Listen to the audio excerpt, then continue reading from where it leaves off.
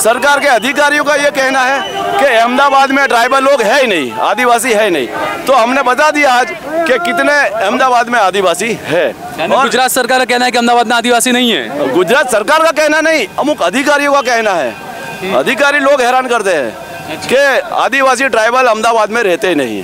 तो ये आज प्रूव कर दिया हमने कि आदिवासी है। आपकी मांगे क्या है सरकार से? हमारी मांगे यही है एक तो जाति प्रमाण पत्र है। जाति प्रमाण पत्र नहीं मिल रहा है बच्चों को। ठीक है? नहीं मिल रहा है बिल्कुल। और क्यों नहीं मिल रहा है? क्या वजह? 1950 का पूरा हुआ मांगते हैं। 1950 के पहले का। जबकि यहाँ मगर महानगर पालिका की स्थापना 1956 में हुई थी।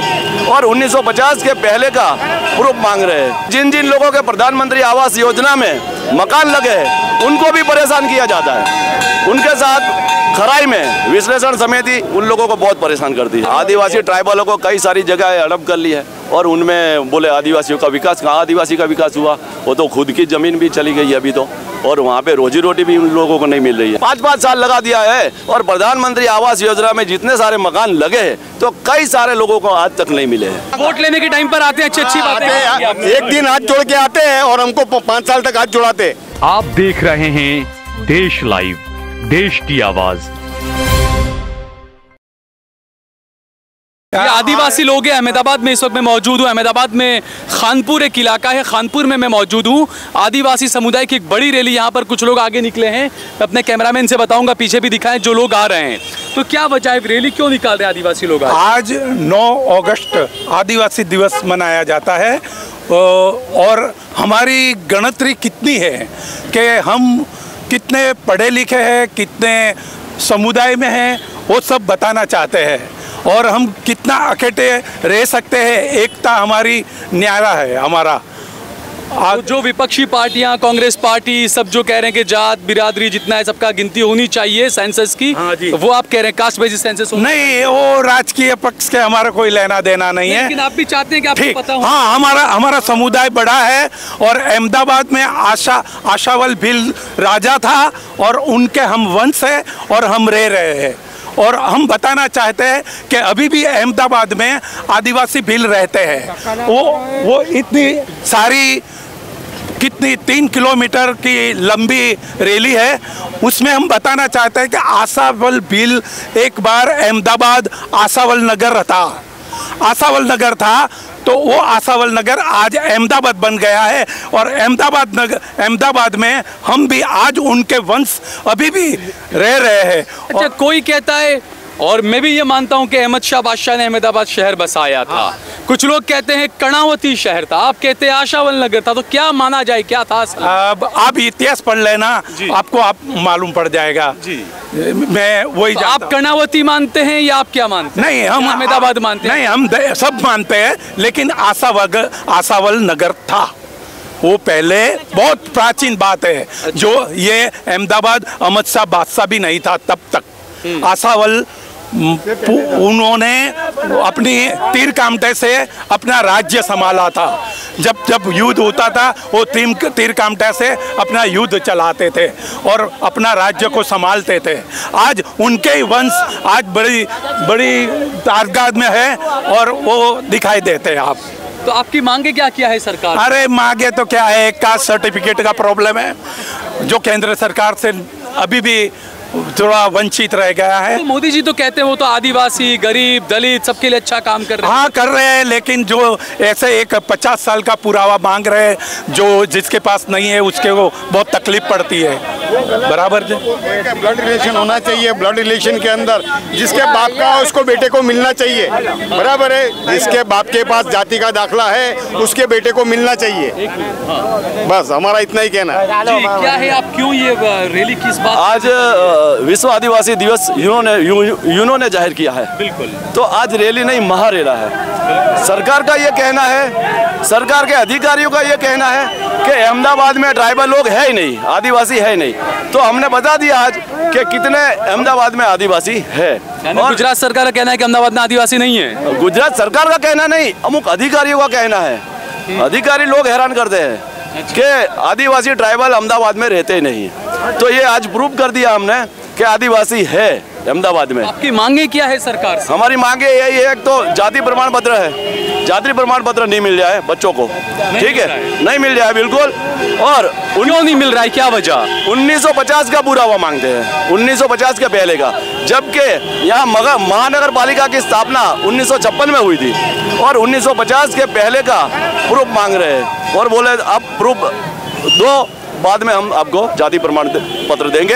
हमारे बच्चे अभी पढ़ते हैं। पढ़ाई में बहुत परेशान होते हैं। और जिन जिन लोगों के प्रधानमंत्री आवास योजना में मकान लगे हैं उनको भी परेशान किया जाता है। उनके साथ खराई में विश्लेषण समिति उन लोगों को बहुत परेशान करती है। जाति सर्टिफिकेट और सब जाति सर्टिफिकेट बहुत एजुकेशन के लिए बच्चों को हेल्प मतलब जो भी स्कॉलरशिप मिलती है। आदिवासियों को जो अधिकार मिलने चाहिए वो नहीं मिल रही है रहे हो। आदिवासियों को अधिकार मिलते वो नहीं यहाँ नहीं मिलते। और उसी के लिए हमने आज ये महारैली का आयोजन किया है। बारह हज़ार से ज़्यादा लोग ये रैली में अच्छा लेकिन मोदी जी ये कहते हैं कि मैं तो गरीब माँ का बेटा हूँ मैंने गरीबी को देखा है मैं आदिवासियों के लिए अच्छे काम कर रहा हूँ मैं दलितों के लिए अच्छे काम कर रहा हूँ। मोदी जी तो ये सब कह रहे हैं सब जगहों पर। मेरा तो एक ही मानना है कि भाई जिसका ब्लड रिलेशन जिसका बाप का दाखला हो उसके बेटे को दाखला मिलना चाहिए। बराबर है। उससे आगे में कुछ नहीं सुड़तालीस में तो देश आज़ाद हुआ है। छप्पन के अंदर तो वो वो हुआ है उसके लिए। अच्छा दूसरा ये झारखंड वगैरह की जगहों पे आदिवासी की जमीनों का मामला बहुत चलता है। कि अदानी को दे दी अमीरों को दे दी ज़मीन? तो आदिवासियों से उनकी ज़मीन जंगल सब छीना जा रहा है ये भी कई सारे सवाल है।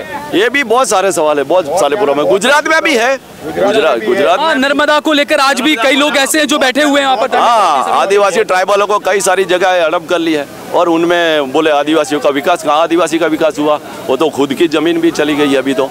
और वहाँ पे रोजी रोटी भी उन लोगों को नहीं मिल रही है। और अब ये हुआ कि आदिवासियों की जमीनें छीन ली गई और अब प्रधानमंत्री आवास योजना में जब मकान देने की बारी आती है तो आदिवासियों से सर्टिफिकेट मांगा जाता है। आदिवासी ट्राइबल ट्राइबल सर्टी लाओ। अच्छा ट्राइबल सर्टी हमारे पास कई कई लोगों के पास है नहीं। और जिसके पास है ट्राइबल सर्टी उसमें विश्लेषण समिति जहाँ बैठती गांधीनगर में वो खराई में इनका कोई टाइम पीरियड होता है? ये कोई टाइम पीरियड नहीं है दो साल तीन साल चार साल पाँच साल। पाँच पाँच साल लगा दिया है और प्रधानमंत्री आवास योजना में जितने सारे मकान लगे हैं तो कई सारे लोगों को आज तक नहीं मिले हैं। तो लेकिन ये भी एक मोदी पर आरोप लगता है प्रधानमंत्री पर कि दलितों के लिए काम करने के बजाय, उनके विकास करने के बजाय, आदिवासियों का विकास करने के बजाय, मुसलमानों का विकास करने के बजाय, वो हिंदू मुसलमान की राजनीति को ज़्यादा बढ़ावा दे रहे हैं। वो कह रहे हैं, दलित भी हिंदू है, आदिवासी भी हिंदू है, वो हिंदू मुसलमान कर रहे हैं। नहीं, हम हम किसी जाति का विरोध नहीं करते और ना ही तो मोदी साहब का विरोध करते। हम केवल न केवल इतना कहना चाहते हैं कि यहाँ पे ट्राइबल लोग हैं और आशा भील नगरी ये जो आशावल शहर जहाँ हम हम लोग इकट्ठे हुए ये आशा भील ने ये शहर बसाया है। ठीक है? आ- आशा भील आशा भील राजा ने ये शहर बसाया है। है ना? तेरह सौ पचपन में। तो ये पूरा इतिहास है आशावल नगरी का और ये लोग कहते हैं कि यहाँ ट्राइबल है ही नहीं। यहाँ अठारह सौ छप्पन से आदिवासी बसवाट कर रहे हैं। ये आप मानते हैं? जी।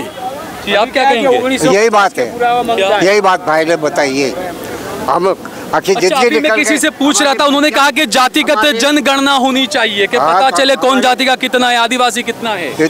कम से कम आठ दस लाख है। अहमदाबाद अहमदाबाद में। अच्छा। हाँ। ज़्यादा होगा। एक, एक अभी क्या है मेन मेन मुद्दा क्या है कि हमको एसटी का दाखला नहीं मिलता है। उन्नीस सौ पचास का पुरावा रखो तो मिले। अभी क्या है देश अपना आज़ाद कब हुआ? सुड़तालीस उन्नीस सौ सुड़तालीस में आज़ाद हुआ। उन्नीस सौ पचास का पुरावा कहाँ से लाएँगे हम लोग? हम लोग हम हमारे माता पिता भी अनपढ़ थे। कहाँ से मिलेगी? बाप का हो तो बेटे को मिलना चाहिए। बाप का दाखला है तो बेटे को दाखला मिलना चाहिए। बस ब्लड की सगाई अरे बाप का या बड़े भाई का या है तो छोटे भाई को या बच्चों को मिलना बच्चे को चाहिए। मिलना चाहिए यही हमारी मांग है। बस दूसरी नहीं। बस और हमको कुछ नहीं चाहिए। बस। बराबर है? यही यही यही। आने वाले दिनों में अधिकार सब आने वाले दिनों में अगर दिनों के ये सरकार बैठ के निर्णय नहीं लेगी कि ट्राइबल सटी जो मिल रहे वो हमको नहीं मिलेगी।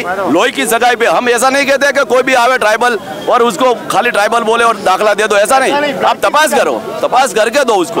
और उसमें कोई गलत है तो उसको दूर करो। जितने भी सारे कंपाउंड हुए हैं आदिवासी सर्टी में तो वो तो आप जानते हो किसने किया? कोई आम आ, आम जनता ने तो किया नहीं ना ट्राइबल ने किया किसी ने। ठीक है ना? तो कंपाउंड भी वहाँ होते हैं। और हैरान भी हैं, हाँ हैरान भी परेशान भी ड्राइवर लोग होते वही हैं। लोग कर रहे हैं। परेशान भी वही लोग कर रहे हैं हमको और कुछ नहीं है। वोट लेने के टाइम पर आते हैं अच्छी अच्छी बात बातें एक दिन हाथ जोड़ के आते हैं और हमको पाँच साल तक हाथ जोड़ाते हैं। अच्छा। और कुछ नहीं है। गुजरात में हम तो हैं? हम तो एक ही बात करते हैं कि ब्लड की सगाई लोही की सगाई के अंदर बाप का हो तो बेटे को मिलना चाहिए। का दाखला मिलना चाहिए। मेन मुद्दा नहीं। है। हमारे बच्चे पढ़ सके बस। हमारे बच्चे पढ़ सके। उन्नीस सौ उनचालीस में मेरा जन्म है। मैंने ब्रिटिश गवर्नमेंट देखी।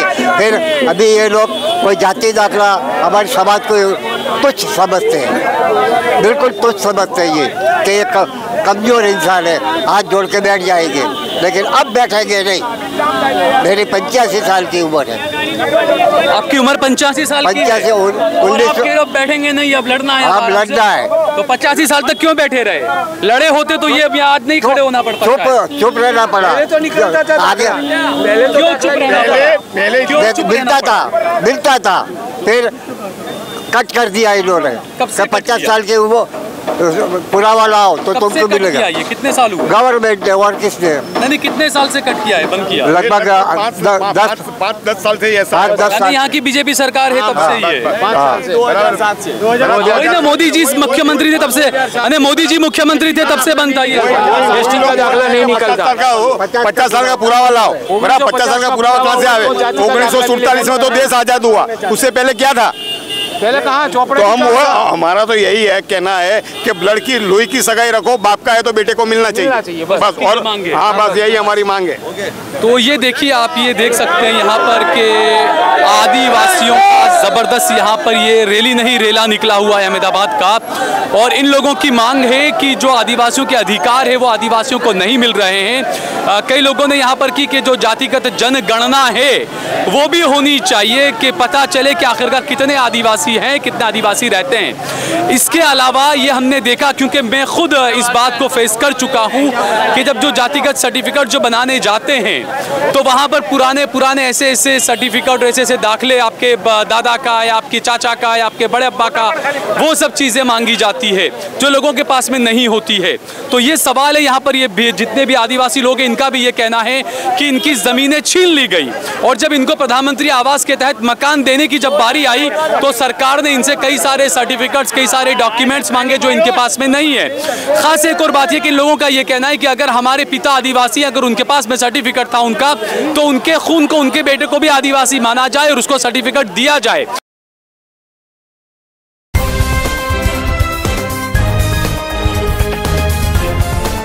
देश और दुनिया की तमाम छोटी और बड़ी खबरों के लिए हमारे चैनल को सब्सक्राइब करना न भूलें और बेल का बटन ज़रूर दबाएँ।